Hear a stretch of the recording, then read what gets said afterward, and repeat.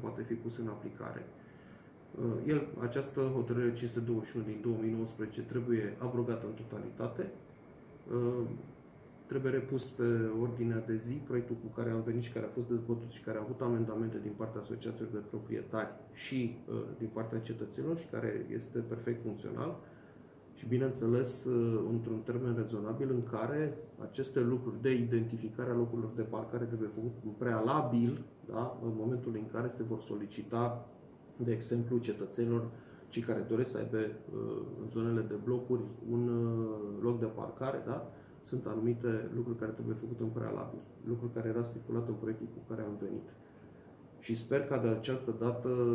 majoritatea PSD-ALDE, de la nivelul municipiului Ples, să nu mai amâne uh, de punerea în, pe ordinea de zi a acestui proiect și să-l adopte în regim de urgență.